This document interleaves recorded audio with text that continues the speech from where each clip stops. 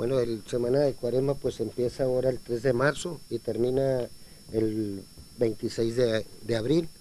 del cual la, Comisión Estatal de Regulación Sanitaria se ha encargado de hacer cursos con nuevos vendedores en los cinco municipios donde están las áreas de recreo, playas, de las cuales acude la población sonorense y, visitas de otros estados, de los cuales se les ha dado una capacitación, se han dado 37 cursos ahorita lo que llevamos del año,